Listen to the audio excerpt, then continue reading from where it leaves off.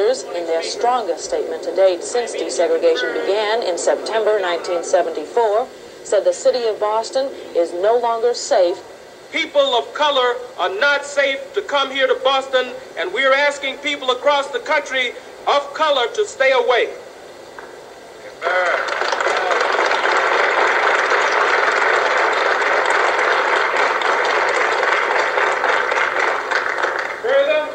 We issue a call for all persons of color to band together.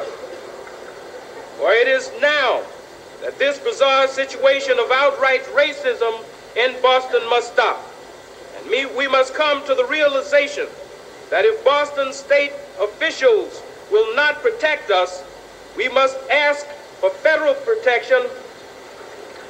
And ladies and gentlemen, short of that, must seek to protect ourselves.